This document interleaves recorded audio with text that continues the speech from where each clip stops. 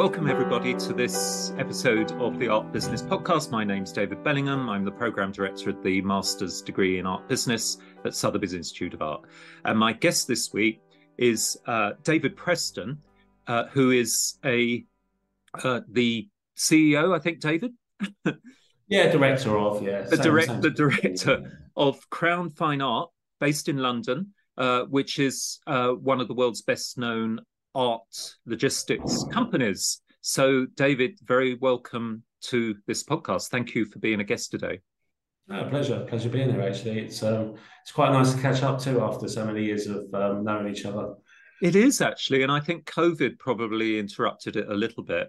But um, yeah. yeah, it all started again a little bit more online than before. But um, it's always best whenever we come we come together. It's always been face to face, isn't it? And it's um, yeah. Well, the world's changed a lot since COVID, so that's yeah. that's another podcast, I'm sure. Absolutely, it, it, seems like it seems like a long time since I was last down at your headquarters in Stockwell. Um, yeah, Central, and we, yeah, we might be talking more about maybe the, the the planning of that that that that building to make for smooth operations later. I'm pretty sure you had a mullet, actually, David. I'm pretty sure you had a mullet last time you came I, down. Well, I didn't have a mullet. I had long hair, but that that's that's another story. um, so um, so anyway, what's your favourite city, David? My favourite city was always New York. Actually, um, I just love the buzz, the energy, the fact that um, people always going somewhere people go everyone has something to do and if you didn't go with it you're kind of left left behind a little bit. But i think as i've grown older um, and probably a little bit more chilled out um, i spent a lot of time in italy and, and my wife actually we got married um, been together for a few, few years obviously and then got married in the summer.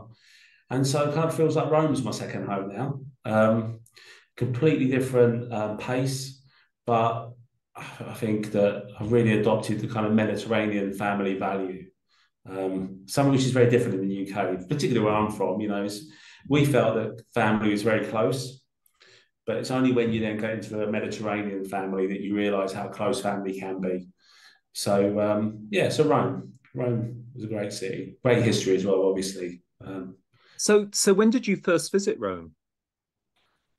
I think I first went to Rome probably been a number of times, probably thirty years ago. When you were um, so when you were younger. Yeah, yeah, yeah. But obviously, you start as a tourist, you carry on, and um, you go. You know, I went to a couple of conferences there.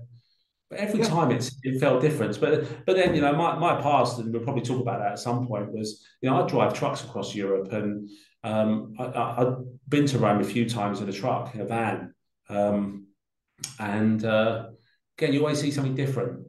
So yeah, yeah, you know I think I think the thing about most European cities of doing driving for a living, as many art handlers do, mm-hmm. um, you can be anywhere sometimes because you only ever see a, a, warehouse. You go to Paris, you go to Venice, you could go to so many places, but you never get to see the city because you always stand in a hotel which is outside on the motorway or um, absolutely. It's it's a problem for a lot of business people, isn't it? That they you, they they they say, oh, "I'm off to LA next week," and and and you say, "Oh, you're going to visit this and that, and they say, "No, I don't have any time." It's yeah. a real shame. be anywhere. You could be anywhere. Yeah, yeah. yeah. Anyway, um, Rome is a is a favourite city of mine. And um, talking about driving, uh, did you drive in Rome? Because I remember arriving there with my family a few years ago, and we hired a car from Fiumicino Airport. Um, and I'd never driven. I'd driven in Italy before. I'd never driven in Rome. And uh, we we they they they said, "Oh, you if you want, you can have one of these newfangled tom toms and make life easier." And we looked at the price. We thought, "Oh no, I can. I'm okay. We can map read and everything." A big mistake. I, I when I when we got home, there were three letters from Italian police on our doorstep in London with fines for going down Senza Unica roads, which is one way yeah. roads the wrong way. yeah. So, so what I've learned, and I've, I've, driven quite a lot in Rome actually, in because when I go the uh, the Outlaws, they loan me their Fiat Panda, and yes. it's pretty busted. You know, there's every panel's dented and scratched, so I don't really have to worry too much about it. But it's all about eye contact. I've driven yeah. in Naples as well, which is worse. It's all about eye contact. If you don't look someone in the eye, you can do what you want. So yeah. cut across the lanes. You know, they don't stop at pedestrian crossings because they don't make eye contact. Absolutely. So that's the tip. So when you're in London and you get somewhere in a hurry, yes. don't make eye contact. I one thing I noticed when I was a pedestrian as a pedestrian in Rome, I don't know if it's changed, is if you try and walk across what what in the UK would be a legal right of way for a pedestrian, like a zebra crossing, um, yeah. which they kind of have in Italy, but they don't have like the lollipops. They just have black and white stripes, uh, or or indeed a pedestrian crossing like a pelican crossing. They get really angry if you if you're on it legally. They yeah. they kind of get very very impatient and kind of. Whereas if you actually if you actually look towards them, just walk across in front of them, they seem to kind of quite like that sense of anarchy. Oh, I'm going to respect you because you're walking across the road. Yeah, yeah, yeah. Don't make eye contact. Yeah, exactly. you just have to do it. Yeah, and if you did yeah. that in if you did that in London, of course, you'd be hooted out of hell um, crossing yeah. the road. So it's well, really fun. I was I was in Rome last week. Funny enough, I went to Madrid and Rome last week, and um, across the across the pedestrian crossing, there's a car parked on the zebra crossing. Yes, as, as they do. Yes. And as the uh, the guy was getting into it, I, I gave him the the hand, yeah. and he kind of just looked at me, got in his car, and off he went. You know, it's, yeah. uh, it's how it is. they, they're very good at sort of being really insulting to one another, Italians, and then forgetting it. They're getting it off their chest, whereas the Brits are so bad at that. You know, the road rage thing comes out, and it turns into a kind of GBH. You know, so I actually just just one other thing I remember. I remember being with a group of students in Rome, and I shouldn't have done this, but I was talking to them about this that that Italian drivers, um, if if you just cross in a in an illegal manner, they respect you so long as you kind of look at them and put your hand out and wave and maybe smile. Yeah, yeah, yeah. And they said, "Don't believe you." So we're at the Colosseum, okay, just coming out the metro, crossing the road. That's one of the most dangerous places in Rome for cars because it's multi-lane going round in a circle, mm-hmm. and everybody loves to race around it. And and I said, "Look, I'm gonna I'm gonna walk across to the Colosseum with my eyes closed." And they said, go on then, don't, don't believe you. And I did. And they were absolutely amazed. I said, but for God's sake, don't try this at home, kids. so yeah. well, you were telling them that story from the hospital bed, wasn't you? Absolutely. oh dear. Yeah, and I, I, talking about your your Fiat Panda with the dents in. I mean, you you just don't care about having a dented car in Italy, and um, unless it's a hire car and you dent it of course that's a different story. But i remember i remember coming in on a coach once with a group of students and it, very often you kind of the coach hits the the colosseum and goes round it to find mm. the hotel. And we were going around the, the colosseum um, obviously in a right to left direction. And um, we suddenly the driver started swearing and looking down and there was a fiat panda actually caught on the edge of the coach like its wheel hub had caught on the something of the coach. And they yeah. went round twice before the car mm. kind of swearing at one another before the car fell off. and then they just didn't stop for insurance purposes and they just carried on their way. Anyway, anyway. Yeah. So that's I mean Rome Rome anyone any listeners who've never been to Rome, we're making it sound like a nightmare. As you say, it's an absolutely beautiful place that one just wants to constantly go back to, never exhaust. And um, the opposite do you have a favorite place where in the countryside or by the sea that you can yeah chill? and it's um it's probably an emotive one actually because being from southeast london I think I think you find most people in London tend to stay on the same side of the river they're from. So people in, you know, in Essex will go to go to Southend, or people from the southwest will go to Brighton. Well, people in southeast London would generally go to Kent. So it was always we kind of Thanet, um, Herne Bay, Margate, and always remember Margate and the amusements park. You know, it was it was great memories as a family growing up. Um, and been back a number of times since. So, you know, working with the Turner Contemporary there, yeah. one of the um, one of the corporate sponsors. Um, it's a great place, and they're doing a lot for the community there. But it's always that past paradise, isn't it? You know, you think back, you go there, and you see the amusement arcades that you used to go to when, you know, you're seven, eight, nine years old. What's it called? Dreamland. Dreamland. Dreamland, that's it. That's yeah. right, and it closed there, down in the summer again. Yeah. yeah. yeah. and of course Great. the reason the reason all these places closed down because I I I lived it I grew up in Gravesend on the other side okay. of the history. Oh yeah. And yeah. but we just went straight down. We didn't have a car, so we just used to get the train. My dad worked for British Railways, so we all got free travel all the time. So at weekends in the summer, we just get the train, go down to Broadstairs, Ramsgate, Margate, yeah, those places. Whitstable, and it was wonderful. And that was in actually, I better do I say the decade that was in the sixties. Then of course, what happened in the seventies very and was cheap air travel. So people with not that much money were were suddenly able to afford instead of staying in wet England, they were able to go for quite cheap package holidays to Lloret de Mar, and, the, Mm-hmm. and that's what we did. And everybody else was doing it. So all of those lovely seaside towns, as you know, uh, became abandoned. And it's only recently that they've started doing them up. And what's significant, I think, for our listeners is the way they do them up is usually centered around art. So you've got, as you say, Turner Yeah, Margate, yeah. and Culture, you've got yeah. the Folkestone Triennial art, art Triennial, Mm. and it, Mm. it's so interesting the way art is used for regeneration in that manner. Yeah, yeah. Well, I mean, on that note, just uh, we went down to Kent because we were one of the poor sods who uh, couldn't afford to go on a plane. I think my, my father never went on a plane until he was probably 61. Yes, So, um, you know, so yeah, it was always it was always uh, UK holidays for us as a family. The car. well, that that's strange. Nell's because- Cafe, Nell's Cafe in Gravesend on the way. oh the- right, yes. A2 there. Yeah. Do you remember Laughing Waters on the A road as you went past? Do, do you remember that? The rest of you used to go fishing on the lake there, hence Oh, Laughing. Waters. Yeah. um in the in, in in when I was a kid. Actually, that's changed, doesn't it? Because I we were really we were you know under ten and we had bikes and we at weekends we go up there and play in the woods and fish and Yeah, you know no one worried about us. It's what what a change. I don't think kids under ten would do that. anymore. But anyway, lovely, lovely. Um, Yeah. so oh, you're reminding me of all those wonderful childhood days. And um, anyway, so do you have a favourite building?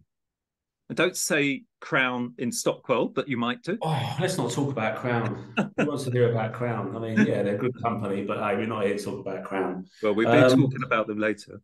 Yeah, Natural History Museum has always been a favourite. I think I used to Which drive one? past it so often. Natural History Museum, Oh yes, yes. Kensington. Um, no, not really. Not really. I think um, no, I think that History Museum has always been there for me. Yeah. Yeah. Which is odd because I'm a much more non-conformist, contemporary, conceptual type person. But for me, it was just maybe it was the first museum I ever went to with a school trip and was always in awe of it. And it just flashed back to me when I was an adult. I, I don't know, but always had a soft spot for that building. Yeah, no, same here. And, and I, I guess when it was built, I think the architect was a late Victorian architect, Waterhouse, if I remember, not the Mm. painter, another one. And uh, and and those lovely kind of uh, Gothic Gothic revive, the Romanesque revival rather, not Gothic. Yeah, The yeah. animals that obviously are site specific for the actual museum. It's That's a right. But I think but it's slightly, slightly digressing. I think having worked so long as also at the airport, I think I, I really like airports. I'm not, Yeah. it's, I'm not going to say aesthetically, but again, if it kind of provokes an emotion, then I think airports are great. I think airports are great for your well-being. Um, so, what's your favourite building? You know, the departure lounge at an airport when the flight's on time.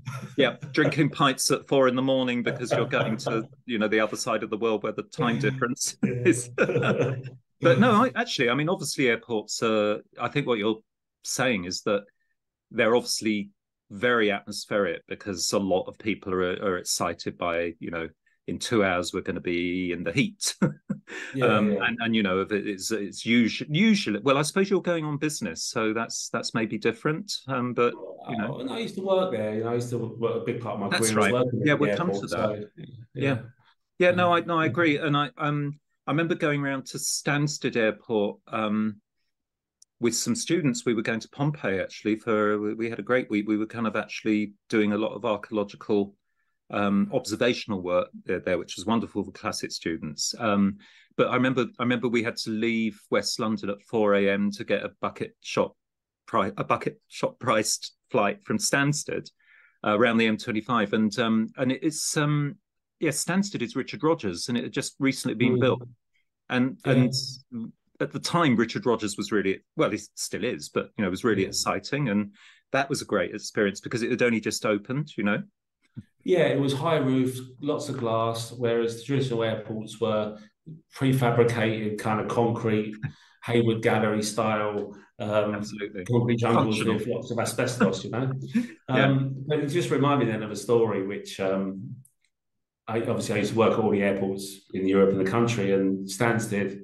We there was a huge collector who had bought uh, a, lot, a lot of objects in the UK to ship to another country in the in Eastern Europe, and sent his own aircraft over. It was an Antonov 1424, one of the two. It was it's one of those big aircraft with two propellers. The back comes down, and you you basically push everything up a ramp to get into the back of the aircraft. There's no hydraulics or anything to help you with it. You use your sort forklift. Indiana Jones plane. That sort of thing, yeah, where the car falls out the back, that kind of thing. So, um, so the, the, aircraft turned up. We had a big Arctic lorry on the on the um, on the apron. Out comes the artwork straight into the back. You know, it filled. It was a full Arctic and a full aircraft.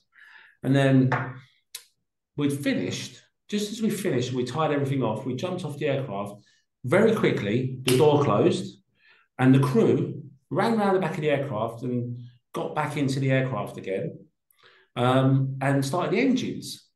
We're thinking this is all a bit bizarre. And the engines are firing up, and now the Arctic is still behind it and it's starting to wobble. Thinking, what, what's going on? And so the guy, drivers got in the Arctic, and for those who don't know, an Arctic's a huge, long, 40, 40 foot, you know, 18 meter truck. We moved it out of the way quickly. And then the engines, and it starts to move. And then all of a sudden, four airport security vehicles come racing around the corner and blocked in the aircraft because they hadn't paid their landing fees. so, and they hadn't got permission to take off either. and so this, whoever this guy had um, organised to pick up these artworks, they was hoping probably to keep the 20 grand's worth of landing fees and handling fees, all the help they got at the airport and so on, and just get onto the taxi, get onto the runway. Ryanair, you can wait. I'm going now. And off, off they would have gone, you know, into with all that money, extra money in their pocket. Um, I thought you, I thought style. That's amazing. I, I thought you were going to say that it was um, it, it's because they suddenly realised they had endangered species with the art objects, or you know, they no, were. Out, out the window came a stack of money in cash, which were given to this. That was their land. They paid in cash and landing fees. Paid in I mean, cash. We're talking 15, 20 years ago now, you know. But yeah. Um, yeah, quite quite an experience that one. When you when you could hand over twenty grand or more in cash in an art gallery, yeah, no yeah. questions asked. Yeah, yeah, yeah, exactly. exactly. and what, David? What about music? Do you do, do you have any kind of particular music that you would go for? Yeah, if, if an island disc question, what would you take to a desert island if you could only take one? I love desert island disc. I've probably thought about it on, you know, for many years listening to desert island disc, but never really thought I'd be asked that same question. And I asked my son it actually as well, and he, he would say something like, um, "I'll take my mobile phone or whatever it would be." But I um, I don't know if I'm allowed to say this anymore actually, but I actually quite like Michael Jackson. I like R and B generally, and I grew up in Peckham in South London, where you know it was a big Caribbean demographic there and yeah. a lot of friends from from that region originally. So R and B has got a kind of a you know, neo soul, soul music. My my father liked soul music and Luther Vandross and all that sort of stuff when we was growing up. So very much a soft spot there. But um, yeah, well, I quite like Michael Jackson. Um, well, you know, we're allowed to I say mean, that these days, uh, you know, but I guess so. I don't, I don't think Michael Jackson has been. I mean, he's not Gary Glitter, and I'm probably not even allowed to say Gary Glitter. You know, I don't think he's ever been quite. Um, no. You know, you know what I'm saying. It's a it's a matter of degree, isn't it? Yeah, yeah um, of course. But no, I do like Michael Jackson to get the foot tap in and. Uh... Oh, I mean, what an amazing dancer, an amazing musician. I I, I remember in the. Uh, I remember in the school discos when he was little with the Jackson Five, you know, and he would sing mm. Rockin' Robin and these lovely slow songs like "Got to Be There." I mean, yeah. heartrending. Wonderful, wonderful musician and singer. Yeah. Yeah. It, whatever happened to him later in life. yeah. So that, that, that's that's the sort of music I like, really. Yeah. Ah, I'm I'm there. Tamla Motown label. Motown label, yeah. Yep. 45 yeah. RPMs. Yeah, yeah. Um, and and um um what about arts? I, well, I'd love to know what that question actually, and, and I think, um, in all honesty, I, I, think might be in the minority. I've worked thirty years now in the art market, and I'm probably in the minority to say that um, I haven't got a huge passion for art in the same way as yeah. But the colleagues here, you know, some have got bachelor degrees in fine art history or are artists themselves. So all the people I know professionally are linked to the art market and have generally got a passion for it. But for me, um, you know, growing up, we didn't have access to art. You yep. know, it, if I'd have said to my father at 16, you know, can I have 10 pounds to go to an art gallery in London, he would probably would have given me a slap. and told me, why, are you not going to the cinema to see Die Hard? Or Charlton know? Athletic. Oh, come on, not Charlton. but, yeah, but that, that, same sort of thing, right? So I, um, we never had art in our family. There wasn't that. That was a, that was a middle class, a middle to upper class. Um, yeah. Um, recreational thing was to go to a museum or a gallery, or you go with the school, be bored yes. for a, a, day, you know. But no, so for me, I think I've grown to appreciate it, and I kind of know what I like. And I think um, probably go back to that musical point actually in that past paradise. That for me, I think if it provokes an emotion in me, generally it's quite you know, that that's when it feels successful yeah. uh, on that basic principle whether it's something more traditional or contemporary, um, conceptual. I think if it, and you know, you could go back to when you was 18 and you was in your first relationship and the girl you thought you was going to love for the rest of your life told you to, to, to do one and not come back again. You know, I think, um, you know, you think about those times and if, you know, that artwork could resonate in there. So, yeah. Yeah. Uh, for, uh, for example, I saw a, a Frida Kahlo exhibition. I'm going to mm-hmm. go know, 15 years ago, maybe at the Tate it was, Tate Modern. And I kind of had to leave halfway through because I, it was the way she was looking at me. the way the phrase through the while I was looking at me, I, I, started to feel physically sick. And I think I, I linked that back to kind of childhood trauma. Uh, so how interesting. Was. But then you could say, you know, that was quite successful to whether that was the intention of the artist. No, it might well have, might well have been, might well have been. But I, I, what I love about what you're saying, David, is that you know one of the first things we say to our students, our students who've done art history courses, we say, look, when most people when they go into an auction, you know, if you see if you see collectors, most of them are wanting something for their home. You know, it, it, yeah. there may be the odd one buying at the high end who actually like Pinault who has a big collection or Saatchi or whatever. Most most people want something with pa- that they're passionate about, and so we say you've got to start looking at art from, as though you're a child, and not and mm-hmm. stop all the intellectual stuff. That is very important as well. But but start looking at art the first time round as as though you're still at you're a child on an emotional level. Yeah, I, I, completely agree. And I think the, hmm. the general principle of my collecting is it, one, it provokes an emotion, but also you've got to look at it. Yep. You have to look at that artwork every day. Yep. So I could think of nothing worse than owning the Frida Kahlo. He's staring down at you all the time. exactly. It could, it, uh, you know. so yeah, you're right. You, you, you've got to look at it like a child sometimes. I remember, I remember at the start of COVID, some of our MA contemporary art students, four of them, they started this wonderful podcast because they were missing one another and you know doing it all remotely. They all mm. gone back to their own countries, and it was such fun. Um, it was called Charts, which means chat about art. You can still look it up on um, on something like Spotify. There are other platforms, and mm. um, they, they they their whole mission was to make art accept you know easy for people to, to, listen to so they take a topic like what is medieval art and it was hilarious in some ways but they were just trying to make it um, less um, highfalutin than most people would make it, if you like. Mm-hmm. And um, they, um, oh, what was I going to say? Oh yeah, they had one. One of the themes one week was about I can't remember what they called it. It was something like um, um, uh, art with art related to ghost stories.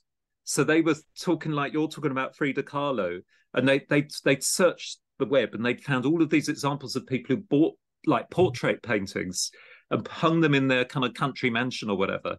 And they had to get rid of them because the portrait came to life or, you know, that came out a bit Harry Pottery. So that, that was a really funny episode. So I, I get where you're coming from with that. And I, have had works on my walls and I, I've got rid of them in the end because, you know, I, I in the end, for whatever reason, I just get either fed up or I just suddenly don't like yeah. it. Well, uh, there's one which um, I've repurposed, and I won't go into the detail of that. It's a, a work by Bruce McLean, which um, I had in a previous relationship, mm. and you know, got divorced, and yeah. I can't bear to look at it because it's it, reminds it's you, too, it reminds you of the, you know of those times. But yeah, um, yeah it's funny that maybe this is uh, you know if you've got a load of ex students who listen to this, it might be um, you, you might recall back in the eighties those crying girl portraits the Crying Child. Oh yes, yes, you know? yes. And um, yeah. I think you can probably look those up. And I, I, don't think many people would probably know about that. Yes, outside the UK, but it was a portrait of a crying girl. Yeah, and no, I do remember. Bad luck, weren't they? And uh, yeah, no, it's interesting. It's interesting what art does, and you know, nothing, nothing, nothing's new. Um, mm. so, so David, thank you very much for all that. And um, It was a long intro there, wasn't it? it was great. It was great because we talked. We've already talked quite a lot about art. Hmm. Um, so chat about art. So um, can you say something about when you began to get interested in like security, working in security? Where did that come from? And then maybe your experience then and working in presumably airport security before you actually started becoming like an art logistics person. Yeah, well, where to begin? It's always difficult to talk about yourself actually, and you probably how many times have you ever talked this long about yourself? Probably never, right? Mm. My wife probably tells me I talk about myself all the time anyway, but um, well, now's your chance. now's my chance. Yeah, yeah. Um, no, so you know, academically, I didn't get great qualifications at school. I left school, didn't get my qualifications. I, I already had a job. You know, in my family, the moment you become sixteen and eligible to work, you're going to work. Mm. So I got a job in a removal company and worked in the warehouse, pushing a broom, doing whatever they asked me to do. And mm. um, yeah, they saw potential in me, which which was nice. And I think if I if I really think back about those attributes I had as a 16 year old, my dad had three jobs. You know, he used to buy and sell things at car boot sales, buy and sell cars. He used to do security at the company he worked at. He used to make cranes. I mean, he, he was bit of a jack of all trades. He would do odd jobs for people, and, and I think um, you know my my mother was a um, school dinner lady and fitted in with the family routine, right? So, but what what I would say about that was that my dad knew how to communicate, how to network, and you know you think about you got someone who's looking for a television to buy, right? And that television, the guy wants to sell it for a hundred pounds he'll know someone who wants to buy a television and he'll sell it for 120. Everyone would be happy because they bought a television, and sold a television, he's earned 20 pound out of it. And that's what he used to do. And so he used to, um, I think that that was the value of money was important. In, yeah, in I remember the same. We, we didn't have any, you know, we didn't have any money to, to go and you, you, there was no such thing as credit cards. So no. to get into debt was considered really, really bad form. So you just had to go without. Exactly. They went without and they saved up and they bought things, and they looked after us. Yeah. And, you know, they, they, they did what they had to do to do that. So, yeah. so I, I felt the value of working and the value of effort, work ethic. And so I couldn't rely on my qualifications and I wasn't ever going to go into um, further education. So, um, got really got a job. And I would say through hard work and diligence, um, you know, I, they saw something in me. And I, you know, I was at a mm-hmm. company called Constantine was there for four years. They used to have a removal company called Evan Cook in Peckham, and they had an art division. And I started working within their art division. And come the age of 18, they asked me if I would go to the airport and help out with a couple of little art handling things there and go in some vans and then drive a van and then meet this courier from this museum. And, um, and then, yeah, before you know it, you know, I'm working on projects and exhibitions which are happening. And I, I, I still remember to this day a few of them, you know, from 25, 30 years ago, Fabergé exhibition at the V&A. I remember, you know, picking up Fabergé eggs in, um, I won't go too much into that because I don't want to breach any kind of confidentiality, you know, but, you know. Um, I remember, I remember the show, yeah. Yeah, amazing. And, you know, private aircrafts at Luton, which were going straight to St. Petersburg, you know, it was, it was a life I'd never experienced or imagined, you know, being the, the boy from Southeast London where you know, going up central London was like a big event. Yeah, you know, i remember that. Do you remember? Do you remember you come out at Charing Cross and there's Lyons Corner House that you go in there for tea and it was really posh. no, no, we used to get remember the train that up to. We used to get the tube up to um, Elephant and Castle to. Oxford oh, you came in at Elephant. Come Oxford Street, yeah, yeah, yeah, go to Oxford Street, and that was it. You know, everyone was yes. on, on top of you, and um, yeah, yeah. So yeah, so I got I got into kind of security by by chance really, and I think if I was to say how did you get into it, I think I didn't really have a career path. I just yeah. went with I'd like to think good customer service, having the pride in what I did, and mm. and I think sometimes I, I look back and maybe I was a little bit too dedicated. I'd I'd work like a donkey. I would work and work, and if someone said we need you to go to Paris in 10 minutes, I'd have been in the van in nine. Yeah. And, you know, through that, I've got life experience and, you know, met some do you, amazing do you, people. Do you recall finding it, feeling excited by it, by what things that were quite exotic compared to like your your background? You know, go flying, yeah. into, you know, Yeah. It must have been absolutely wonderful. I, I remember I remember my dad, I think quite early on, realizing that um, I was lucky to get a scholarship into a public school in Rochester. And I think he quite he's he recognized that he needed to take me, to, you know, so he took me to Rome. And um, when I was 12, and and and I, I just look back at that and think how how lovely of him to see that yeah, yeah. that was something that would help. And you know, to be honest, I'm sitting here now, and it's probably him taking me to Rome, and then we went down to Pompeii for a day.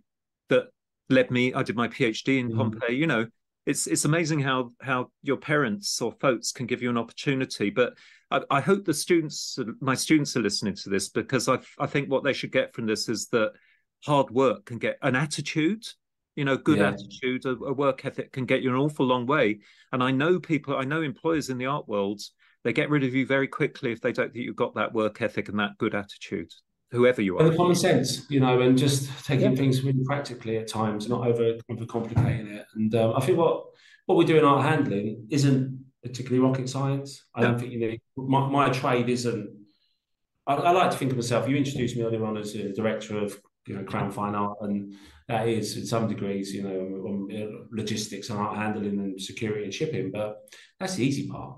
Mm-hmm. the harder part is um, i like to think of myself as helping helping the art market further their interests in the art market and that could be your interest david is to um, you know help students at the beginning of their career or upskill or learn new things to progress progress their life and their progress their education. And my, mine's to help my clients, and, and I'm helping you do that, right? You're in the art yeah, market, and absolutely. But for yeah. me, you know, if it's a collector who's looking to sell an artwork, and I so happen to know an art advisor who might be looking for one, then I'm going to help them out with that. Yeah. You know, if there's, um, you know, if if if a, a, small artist, let's say a small artist, an artist who's got an artwork for a thousand pounds they want to ship to Canada, I'm going to help them out with that. And it's yep. not about the shipping part, it's actually understanding why they wanted to do it, how important it is for them. And uh, I think that's what's most enjoyable. And I think, hopefully, you relate to this. I think the older you get, the more you want to help, the more you want to kind of feel like yeah. you give something back because yeah. we are in a market which I think when you first come into it and you you mentioned about going to Rome when you're 12 and it's it's overwhelming to some degree the the wealth the um, you know the prestige of the of the objects, the clients, the mm. it's the I'm not going to say it's the dark arts, but it's um it's it's a market which I mean you've seen a lot of books come out recently with tell-all books where people have been talking about their experience in the art market, right? It's a it's a little bit behind the scenes, right? Yeah. So um, yeah. Yeah, yeah. Know, there's some think... very there's some very good sort of like what I call airport books about about Sotheby's Bond Street, its history, and yeah. you know, anecdotal books. They're wonderful. Mm. Um, but yeah, no, I, I, I think that, but surely that that's good that that you don't you see your primary enjoyment of your your work as assisting the smooth running of that yeah. art world. I think it's really great. Yeah, yeah. maybe that's how I compartmentalize it because I think by virtue I'm I'm someone who likes to innovate and challenge and disrupt. Mm-hmm. And I think if I was just um, had a different personality preference, I'll just be looking at processes and yes. improving what what already exists. So yes. No, yes. I've spent a lot of my time trying to think about what, what the future might look like actually and innovate.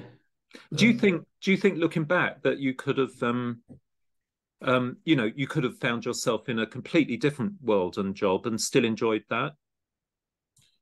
I think I often thought this actually. I think I'm not wedded to the art market. I feel I could easily switch sectors and. Yeah. So you could go into, for example, standard logistics like moving goods around the country, not necessarily art goods, or do you like the I, fact I that I might be a bit bored by that. I think. Yeah. I think I'd have to. I think whatever I did, I'd want to be the best at it.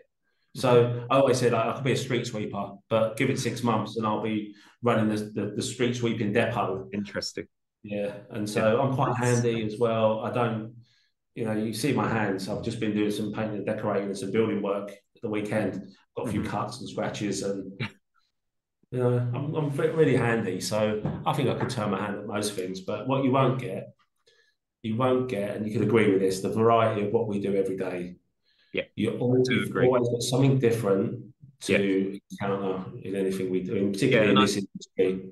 I would imagine that in art logistics, you know you the, the art the, the, each piece of art is unique that's what makes art different from a lot of other commodities and uh, i guess the challenges can you know you can suddenly be challenged by oh i've got to move this damien hirst animal in formaldehyde how am i going to do that what are the mm. laws about formaldehyde yeah, I, you know yeah so there's yeah. always a new there's always a new problem that you have to find a solution for i i would guess you're right there's lots of that and um you know, vehicles getting delayed in, in Europe or even getting a tyre blowout on the motorway, you know, they, sure. they really set the anxiety off. But that's also what's quite interesting about it. Anything can happen at times. And but I think um, I think it's really the clients which which make it yeah really interesting. interesting. It's a people it's a people it's a people job. And again, one of the advices I give my students who are, you know, most of them are pretty young.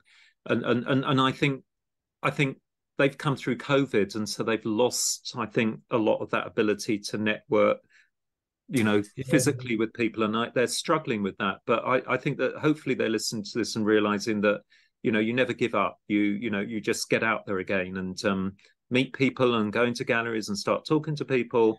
And the art world is not, you know, there's not an obvious career structure in the art world. You know no. that.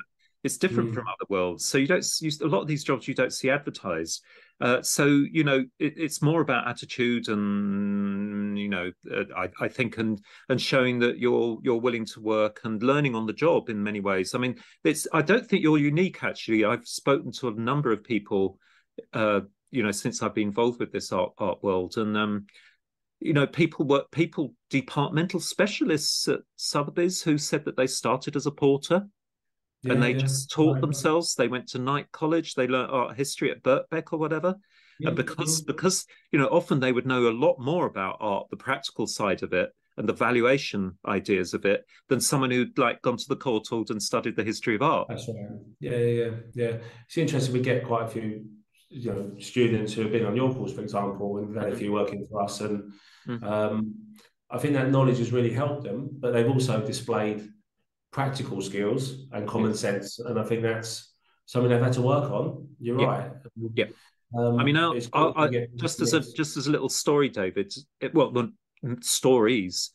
When we have our our degree ceremony, often the parents of the students come for that, mm. and a very common a very common comment from the parents to me is, um, "We can't believe what's happened to our daughter." You know, when she's a year ago, all she could talk about was art, and we thought, oh, she's very arty. When is she going to get a job? You know, and they said that she's completely changed. She can we can now talk about business, about finance, and that that is the greatest commendation I think, and the greatest sense of gratitude to what we do. I think for students, you know. Yeah, I think um, it's funny. There's a guy here who um, he left school at 18, went to grammar school, great grades, didn't want to go into university. Couldn't think mm-hmm. of anything worse, in fact. So he's um, he's been brilliant over the last two three years, and um, I think um, he, he's got you've got to monetize your talent. You yes. know, and I think whether whether you like it or not, you know, we all have to pay for ourselves. And I think you know you read and you know listen to the news, read the papers. You know, kids on average now are going to stay at home until they're thirty-seven or something, isn't it? And my son, my son is down is working from home below where I'm speaking now on a yeah, call. Yeah you know, it's, it is really tough for that generation. I think we're really fortunate, but um, you know, his talent, he's got a fantastic talent, and he's got to learn how to monetize that.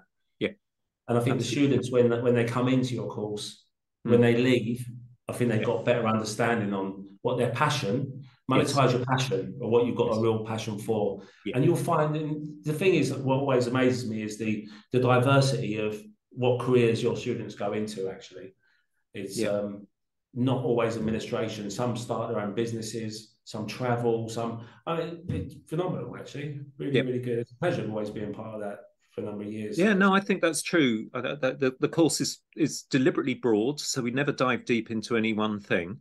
Um, but employers of our students say that that's what makes them valuable to them because they they can turn to them and say, "Do you think there might be a legal issue here?" And my students have know enough about law they might need to call then suggest they call a lawyer but they know enough about it to say yeah you know you will need to do pay this tax or there may be an yeah. ethical issue that they understand as well but they could also you know, if an employer says, "Could you sit down and do an index for me in in an hour for this artist?" They can do that as well. You know, uh, so so yeah, it's kind of it, we we like to think it's multi, it's interdisciplinary, but also teaches them lateral thinking.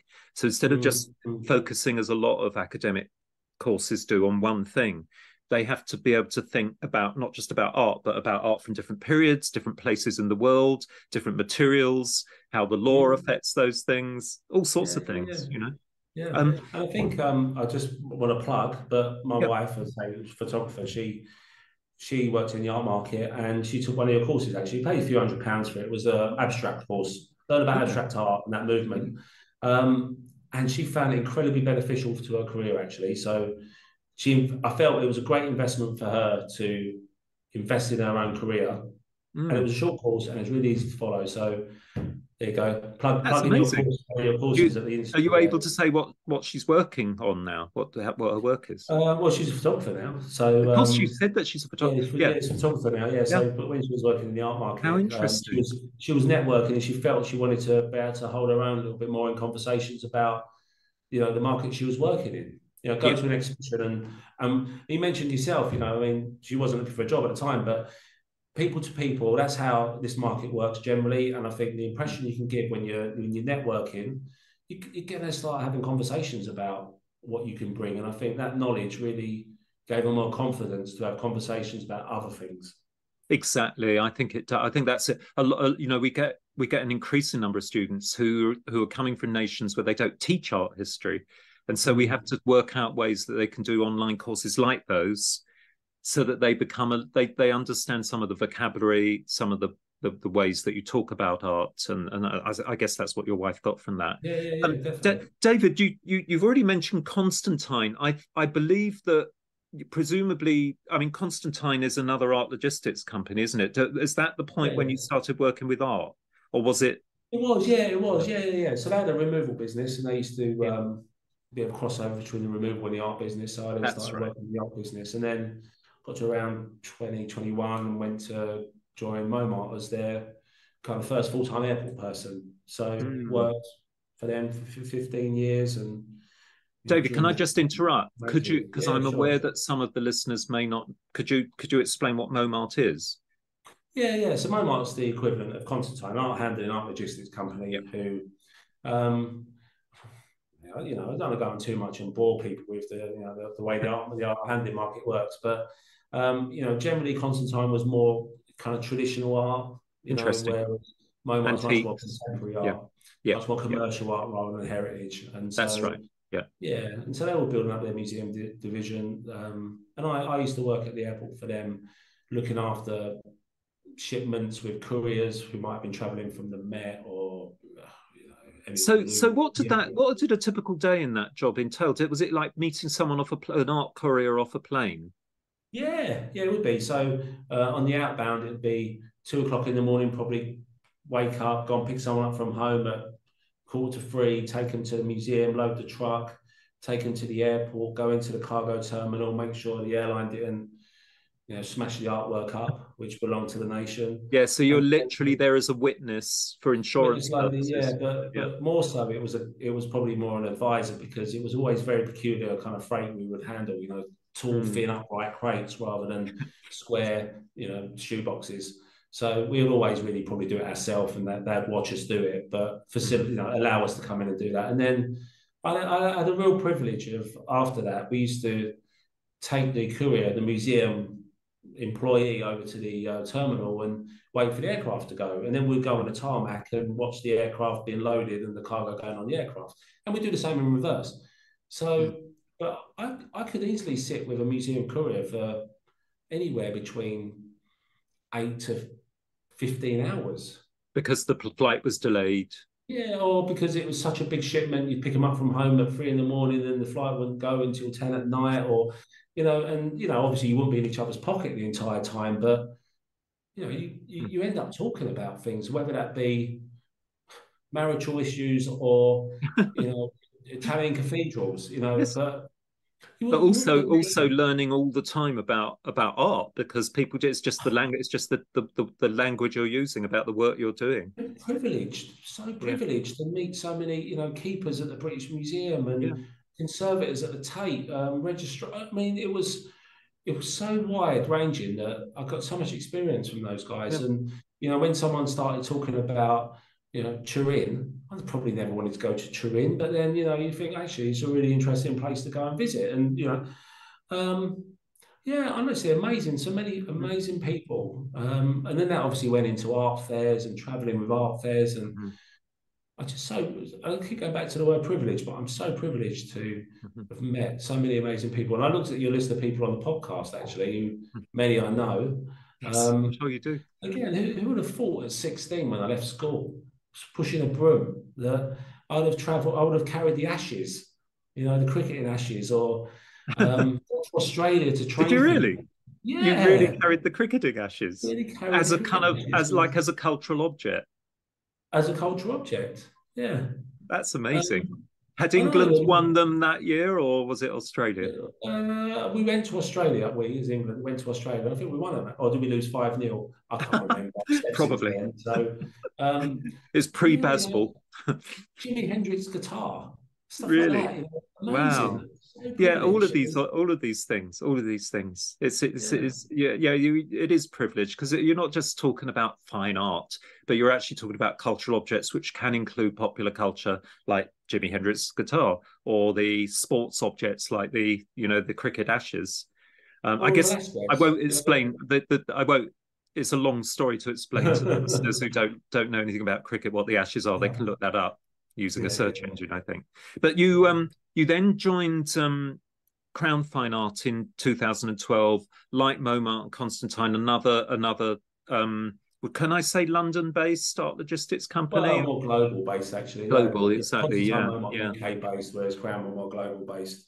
Yes, uh, exactly. Yeah, I saw, saw it as an opportunity to further my career. Really, the size of yes. Crown at the time in the UK was a tenth of the size of of Momart, so yes. opportunity to run a business. Um, never look back actually. Well, you know, all I say, Momart and Constantine, I've got great people working there, and we still we still talk to each other now. We meet each other at conferences, and yes. I look to a couple of guys in particular at Constantine as being role models. Actually, when when I was young, I've got a lot to owe them.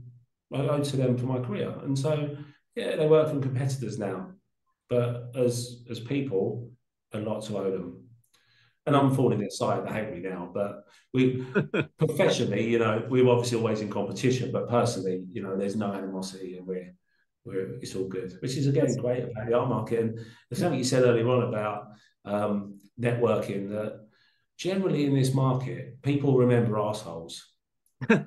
assholes don't go very far. You're gonna have to beat that out probably. I don't know if you're gonna have to put the e. That's right. it on there. That, if I say assholes, you know, it's different. um, people remember those and I think you can easily burn your bridges. Mm. Such an no, that's, no, that's it's a very small world, and if you if you if you put someone's back up or behave in an unethical manner, you it can damage you for the rest of time. So I say to my students, you know, don't we had, had an exam today, don't cheat in the exam because you just it just become a habit and through life, and then one day you're going to get your comeuppance, you know. Yeah, yeah, yeah. yeah. um, so yeah, you know, it's uh, been interesting. And and um, when you joined in 2012 Crown Art, um, was it in, in the building that I visited in Stockwell? Was it has it always been there? No, it was in a it's a really rundown warehouse in on the Old Kent Road, which is a wow. southeast London, and um, yes, it wasn't really. I don't think what happened. Crown had bought a business which really couldn't invest any more money in it because it was owner based. They really need to spend money to get to the next level and they couldn't afford to do it. And so Crown purchased that business, and it was always the plan to um, move out of there and you know be, become a little bit more um, you know challenging the competition. So, but for me, I knew there was going to be. Um, those guys are good at what they do. Our competitors are good at what they do generally, you know, and so I wouldn't. It's not about necessarily saying they're not. It's about doing something different. And I think what I brought to Crown and I think why we've been so successful actually, and we've, we've grown exponentially over the last 10 years or so, particularly since we got this facility, which was you know, it's about as central as you're going to get in, in London now. It's just two miles from central London from Mayfair. So mm. um, I knew we had to do something different. And so our, our way of doing things is just very different. We're just a real can do bunch of people. I think I tried to put my own stamp on it because if you was to ring me, David, at 11 o'clock at night and say, I need this by seven o'clock in the morning, he was genuine about it, then I'll get it to you by seven o'clock in the morning. Wow. Because I'm here to help you further your interest in the art market. But obviously, if if you kept asking me at seven o'clock, then we've got a bit of an issue because you maybe you're taking liberties now. But generally, you know, we're here to, and that's what we've got. We've got a bunch of people here who do that and are motivated to do it. Get paid for doing it, of course. But I think you've got to want to do it, not just yep. do it. And yep. so you know, I've built a great team with people who used to work at competitors and got great knowledge now. And it's a great, I like it. I think it's a great place to work. I, I know that a lot of listeners, I mean, we, unless they, we do an elect, we were doing a master's in logistics, but it was, unfortunately, it was, it, we realized it was too niche. So we've gone back to doing mm. it as an elective. Um, but um, they, um, I, I know that I know that most of them will have never been to like a logistics lo- location like yours with a ware. Obviously, there's always a warehouse because you need place to store these physical artworks before yeah, yeah. you move them, and when you know.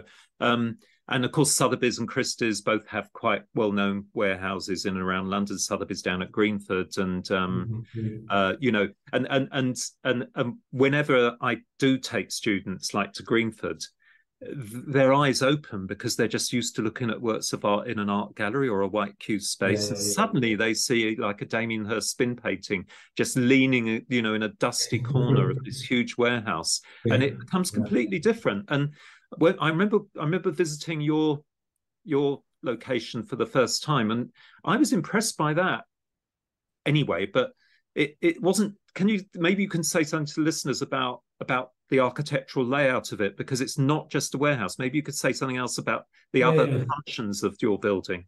Yeah, yeah. I think, um, as I mentioned, it needs to be a little bit different from our competitors, and I think we've we've got a lot of savvy people in the art market, and I think when our clients, when we're so centrally placed, where our clients want to see, generally come in because they want to either view artwork or, um, you know, they've, they've got some activity they want to do at our warehouse it should be in keeping with what they know, right? They don't want to come to a dusty warehouse and you know truck oil all over the place in the yard. You know, they want to come somewhere where it's in keeping with the art market. So yeah, we've got exhibitions we put on. We've got artwork available to buy, which is created from the staff. Um, yeah, it's just set out in a way which, you know, for example, our viewing rooms, you don't go through a, a warehouse to go to our viewing rooms. It's completely confidential. Our clients can meet their clients and look after them. We've got around the place. You know, it's an extension to their, whether you say their gallery or their, if they're an advisor, their business. You know, it just creates an environment where they can be comfortable in furthering their interest in the art market. Mm. And um, we've got a nice bunch of people, and I think mm. I'm, I'm, what I'm really proud of is the team we've got. As I mentioned, they're not assholes, and I've got no issue if the the apprentice in the warehouse meets with an art advisor. I encourage them to say mm. hello as they pass. Yeah. Don't hide anyone away because that person's got um, what they bring to our business is as much as sometimes I bring.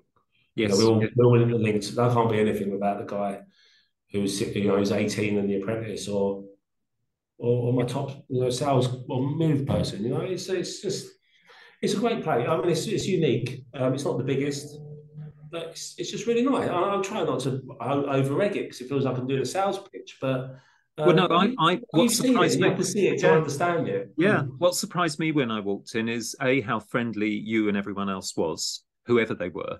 You know, sometimes you go into a, you take a car into a garage, and the ones that you go back to are where they're they're really not they're nice to you as well they treat you with yeah, respect yeah, yeah. some people just don't aren't very respectful and i noticed everybody was nice um, i also i was surprised coming down that you know through stockwell to suddenly walk and going into this what felt like an industrial estate and seeing your warehouse and seeing your trucks and then walking into this beautiful sort of like uh, office space you know with with with mm. coffee machines and a reception desk and works of art on the walls it's it, that's what surprised me and yeah, yeah. you know and then, and then you took us, um, yeah You're right. It's a bit of a change in mood, isn't it, from outside yeah. when you're walking in? And, I, that's um, what surprised me, and I think it surprised the students as well. And I also remember the first time I came down to, um, I think I brought my son Inigo there because he was yeah, he was yeah. really interested in. He he worked for a year in Greenford, Sotheby's Greenford.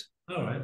And he had great experience there, considering he was the educated one he he felt no sense of anyone sort of taking the mickey out of him. What was quite funny is that if they had some posh client that was being problematic they'd say inigo come and talk to this person. He'd sort them out. It's so funny. And he had all these amazing stories. And I, i'm not kidding you david. At the end of that year of work he'd never studied art history but i can tell you he probably knew a lot more about a lot yeah, more art and cultural objects than any of my art history students who yeah. come with their degrees. You know, that was that was amazing. And I remember you really kindly told him he was quite small at the time, I think, and you said, "Would you like a ride in our one of our air ride trucks?" So, and that was fun. He loved that. But maybe you could tell the listeners about about your truck. I, I, think most people would they they see a truck outside Sotheby's or Christie's with art coming out of it, and they, it just yeah. looks like a normal removal lorry. But can you say how it differs very often from a normal? Yeah, yeah. I think uh, if you think about the biggest trucks, they a removal lorry would probably cost you a hundred thousand, whereas a fine art truck would cost one hundred and fifty thousand to buy. And they've got air ride suspension, so the suspension's sitting on air, so it takes every single bump very gently and climate control in the back to keep the temperature and humidity to a level which you know, museums require, particularly. Um, tail lift, security tracking, deadlocks, um, panic alarms. You know, it's it's um, ratchet rails and particular areas where you tie particular types of artwork off to. So very specialised and very considered when they're being built, not off the shelf. So, and is there is there a custom company that builds them? Yeah, there's a few. There's a few, yeah. but it does become a problem when you know vehicles off the road unexpectedly. You can't just go to a hire company and go and buy, you know, go and rent a truck for a week. So yeah. that does cause a bit of a problem. But yeah, it's um yeah very specialised. There's a lot of the equipment we use is specialised as well. But I think just probably wanted to go back to the the thing you were saying about um when you when you came into the facility, and I think I always when, whenever we do the education uh, lectures, I always say that it's it's a little bit like dating in your forties, the art market. Yes, and that's um, and that's that you you've got a particular. You're gonna have to work with me on this one because I've probably not used that as an analogy before. But if you think you've got hundred people, about hundred thousand people, right, who have got the capability of buying artwork to the value that would be interested in using my service, yeah. So then out of that hundred thousand, maybe only 10% of them are looking to use someone else because 90% of them are using are married. Therefore they use another company and they're happy with the other company. So now i've only got 10,000 mm. out of that 10,000 um, half of them want to do it themselves. Mm-hmm. so now i've only got 5,000 and out of that 5,000 half of those um, they're they've got their hired help to do it the man in the van. Mm-hmm. and then you're down two and a half thousand and so all of a sudden, if you think about how many people in your area you're looking to date who you're attracted to, then you haven't got you haven't got much of an option, really, have you? By the time you've yep. whittled it down. So and it goes to the same with the clients in the art market because that was a terrible analogy, but I do. No, I think it's, I think it's a very good one. Yeah. But the reality is, when you look at how many clients, and that's why they're clients, because if there's only potentially two and a half thousand potential clients you've got access to, mm-hmm. then every client has to feel special because yes.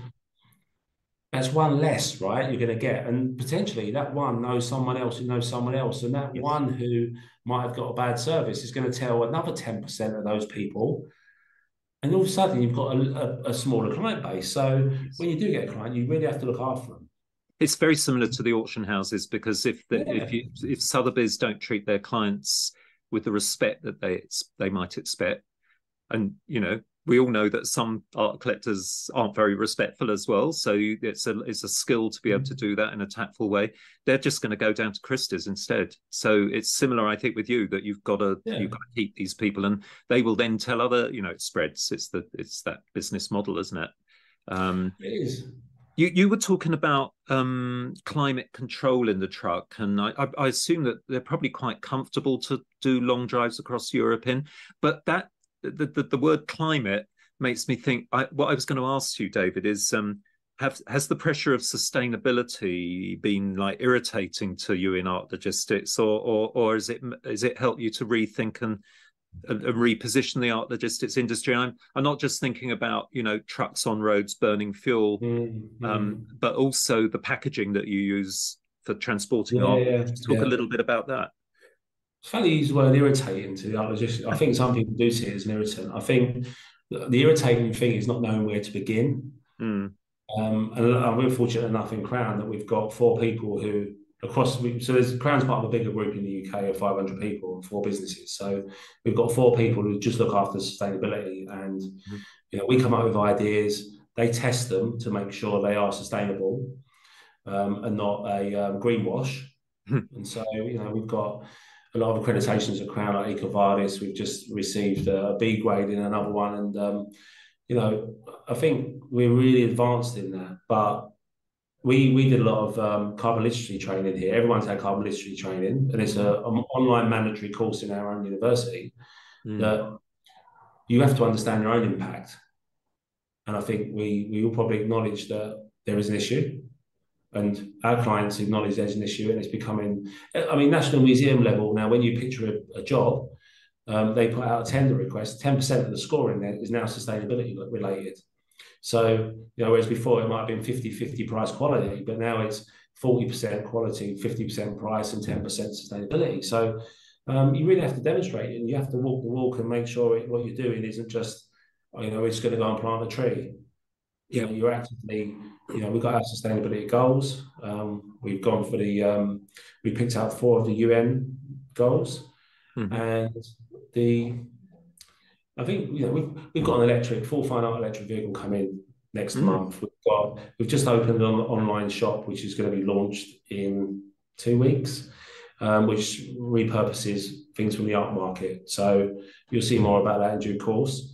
Um, but we also carbon reporting, um, talking to uh, packaging, for example. We've just innovated a fully paper-based sustainable packet packaging um, for international shipping. Whereas before there was use of polystyrene, which isn't easily recycled by the person receiving it. So there's loads of things you can do. And is it irritant? I, I don't think we've got any choice in the matter, really. and um, you know, yeah, you can, you know, trucks are a lot less emissions now, and that's always in your thinking when you're when you're buying another vehicle. And there's always a gap between cost and practicality of electric vehicles yeah. at the moment. But um, I, I, think that if you you put your head in the sand, you're just going to get you're going to get buried because if you think this is going away, it's not. And I think we've got an obligation to our children. I mean, we can talk all day long about business. And, Why do you want you know, to bring a child into the world? Yeah. well, you just said. You know, just um, well, your grandkids. Hmm. What's gonna what's life going to be like for those guys? Absolutely. And well, the, on the news again. AI, I wonder what's life's going to be like. You know, but... it's on the news again this morning, wasn't it? Now, now I think Keir Starmer's pulling out of the promises he was making about Green. So we're getting no political parties. Well, none of the two major ones in this country are, seem to be behind it anymore. And yet, look at the weather. Look at what's happening with the weather. You've got to do. It's just going to be too. Anyway, we won't go down that path. Yeah, yeah. Talking yeah. about talking about irritants that you can't do now. I was just going to ask you how you've coped with Brexit because obviously what we hear in the news is people like you that are moving, in your case, art across national borders, particularly into the EU and back from the EU into the UK. Has that caused what kind of problems has that caused, and what were your solutions? Well, I think we was quite ahead of the game actually. So we can clear customs at our warehouse. Um, so we we drive through borders and don't clear up borders. There's been some delays from people who have not been prepared for it, but I think generally the um, I'm going to say the higher end art market are pretty well versed in it, understanding what you can and can't do. There's a group called ICEFAT as well, who's a, um, a group of agents like us across the world. Um, and we've been sharing information. That's one of the strengths of the group and the affiliation was that everyone in in member countries would talk to each other and work out how it's going to work. So I think generally it's been all right. I think for me the impact's generally been on um, on the lower value end of the of the market. Um, and I think where there isn't such a good profit margin, I guess, and yeah, and yeah, because you've got to pay for the service ultimately, yes. right? But if you there's a there's a crossover value where it becomes less, it becomes more, it becomes cheaper to buy across borders. but that's not for a few thousand pounds. So, hmm. you know, so at the, the lower end, you tend to find that there might be a bit more of a struggle.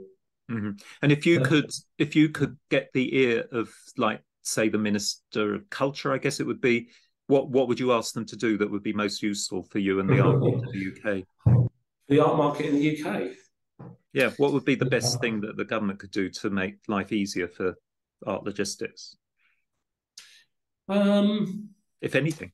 I I, think you put me on the spot there a little bit. I don't think there was anything. I probably got the um, the intellectual. Well, you know, you hear some people. Say, you hear some people saying, "Oh, you know, like you you you will hear like contemporary art dealers saying, stop resell royalty rights." Although that doesn't seem to be a big issue yeah. at the moment. You know, you might hear them saying, you know, make it zero VAT when you're moving art around. would that? Uh, would yeah, that I, I think it would help us pick up um, I think if I look at the art market overall, I think some of these sticking points are, for example, export licenses to get. Cultural licenses is still a paper-based application process. Yeah, surely there must be a database. And I think they're trialing one now actually, but a database where you can apply online for an export license. It gets approved online. You get an instant copy, and it, it then goes back into the export licensing system. So, yeah. but you know, you talk about across Europe and import. Um, uh, um, declarations have to be made in in certain provinces, particularly in Germany, for example. You have to register an artwork in the region you're importing it into, which wasn't around before. So in France, they've changed the um, the law on exports, where if you was a private person, if it's over a low value, I'm going to say I think it's six or eight thousand euros, then you have to pay export tax on it. Yep. Whereas that wasn't the case before. So I think um, hey, it's a complex web, isn't it? Absolutely. I was going to ask you, um, you know, I, my question was what types of art produce the most problems as regarding moving them around um, and maybe what's the most difficult material you have to deal with? Can you can you think of some examples of problematic yeah i think um Yves Klein's always interesting with the pigments. Yes. Um because of the blue. Yeah, yeah, yeah, yeah. Um, I would say that um, I mean, museum objects are always can be challenging sometimes, you know, because well, it's owned by the it's owned by the nation, right? They've yeah. got one chance. It, commercial, you know, if, if, you look at two two of the same object in the commercial market, mm. they send an Addison Lee motorbike sometimes to go and pick it up. You know, whereas in the museum world, it's a specialized truck, like you said, with the air ride, climate control, yes. specialist rates. And I think um, I think some of the most challenging tend tend to be just generally museum objects. And, yeah, because I guess they that they have like a lot more like aspirational regulations, don't they, for that for the objects that they're dealing with? Yeah, and and and and and also that am I right in saying there's a lot of state indemnity, which so so you know they're not they haven't got the normal insurance company, and that might That's affect right, yeah, the way right. you have to it's underwritten by a government generally exactly. most instances because exactly. you, you can afford to commercially insure it. But yeah. I think when you when you go into the, the the, the the real collection care level of the museum, it's so specialised. You know, they have conservators trained, yeah, qualified to handle and understand every single intricacy of that object. Absolutely. And so, yeah. and so when when you are handling something like the ashes, Yes. And your, your, listeners will have to look up look that up and the fragility of that and the the, um, the off gassing or the the grease on you know all of those little shocks and changes which can affect that that goes beyond the understanding. You can have a broad knowledge, but it goes beyond the real understanding of an art handling company or someone who works within it. It's that specialism which makes it really difficult. So, I suppose just general fragility as well is a is an general issue. fragility. Yeah. Yeah. Um, yeah. I guess you're yeah. used to in, in the art world, in art logistics, you're going to be used to that sort of thing, perhaps more than other companies. But I, I have just thought of a really I don't know whether you want to answer this question or not, but I've I've been I've had to I've been asked my opinion about should the Parthenon marbles, I, it's it, they're wrongly named that in my opinion, because it's more than just the path. And I've said this on national radio. I've been asked about the current debates about should they return to Athens. If you if they decide to move them to Athens and they come to Crown and say you've got to move the say the Parthenon frieze to Athens, how would you do that? Would it be a problem? Well, how would I do it logistically, or yeah, yeah. how, how will I huge, morally do it? Huge. Well, no, no. How would you you know, with huge pieces of marble, and I mean, how would you wrap them, and how would you, you know? Yeah. Um, well, I think there would be. Um, we've had objects not dissimilar to that before, actually, in the, in the past few years. So, um, yeah, I mean, everything's possible. Um, there are specialized companies who, who who are better than us at doing that kind of thing as well. Everyone, as I mentioned earlier on, everyone's got their little niche in the art market, mm. and I would say, would moving those be our specialism? Mm-hmm. No, there is a company who are specialised in doing that. Mm-hmm. Again, sounds like I'm promoting someone else. no, I'm not going to say it is, but it sounds like I'm promoting someone else. But um, would it would it go? Would it have to go in a truck or by sea or by air? Which would be the preferable? Uh, I think to to Greece, it would probably go by road. Yeah, and it would be under escort the entire journey, with multiple stops on the way in secure yeah. premises, um, security, lots of coverage. I, I don't think anyone would insure it going by sea. Absolutely, yeah. And and David, finally, could you maybe just tell us about a day in your life working in in Crown in art logistics. Maybe you know what happens yesterday or well, yesterday was no, yes, yeah. Well, you know, what happens from the moment? What time do you have to get up and get into work, and what then? What time do we? Well, you might you might notice from the last time you saw me that I've got bigger bags under my eyes now. So I've, I've got a nine month old and a three year old, and, and I wake up so many times at night at the moment that I don't even know if I wake up at 11 o'clock, one o'clock, or five o'clock. You're walking just, have, just wake up. and so um, the day, a typical day yesterday was, oh, okay, it was quite a good day yesterday. Went over to one of our other branches. We had a, an induction for new starters across the whole of the group. And I talk about fine art and say what we do. Mm-hmm. that's quite rewarding. And then it was month end. So I did the whole of the finance month end, took, took looking at the P&L, looking at um, a number of financial things that we have to look at every month. then I had a meeting about sustainability, then a couple of client phone calls. Um, I didn't see a piece of artwork yesterday, and and I think that's that's the variation to the job because today um, I'm at the Art Central, um, spoken to quite a few of our technicians this morning whilst I was loading trucks. Um, had a meeting with marketing today. I just every day is different, and I think I'm fortunate in that I've, you know my career has got me to the point where every day can be different. Mm, rather um, than just doing like a repetitive packing or yeah, sweeping. but I've done the repetitive, and you've got yeah, to do the you deserve to it. Get, yeah, you got to do the bread and butter to get the cream. Uh, Another thing I say to my students that even though you've got a degree and now you've got a master's degree with the Sotheby's brand name, don't expect necessarily to go in at the top level into a job. You might have to work work in front of gallery, maybe even for two years. I've had very good students who've had to do that, and I've said just be patient. They're yeah. they're after you, they're looking at your attitude, and and and and all of those people have then been moved. You've got you to know, earn the right. You've got to earn the right. You've got to earn the right. Exactly. So, David, thank you on behalf of the listeners. I think that's been right. brilliant and fascinating. And I, I know this subject a lot of listeners who are interested in art just won't know about. And um, I hope they all have an opportunity to visit somewhere like your premises at some time, and that they, they might be surprised at, at, the way art appears in those premises, but also in the in the professional way in which you handle yeah. these things. And um, yeah. so, thank you very much. And uh, you know, hope you can be a guest again, maybe. Yeah, maybe. And I think that the, the door's always open. Um, we, you and I, we both enjoy talking to people. So, you know, welcome any contact from your listeners if they've got any interest, you know, interest in the art market. Then, yeah get in touch. So makes our life interesting. Yeah, and in, in the literature that accompanies the podcast, we'll, we'll put some links in so that they oh, contact you if they're interested. So thank you, David. No worries. I'll see you around. Take care.